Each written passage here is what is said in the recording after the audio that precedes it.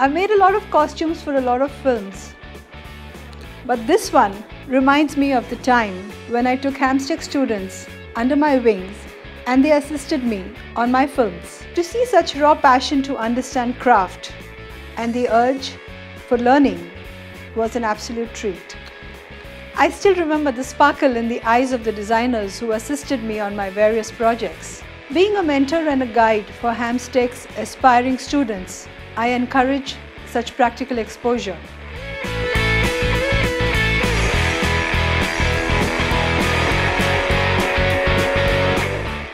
I look forward to lending this platform to many more passionate student designers from Hamsteck.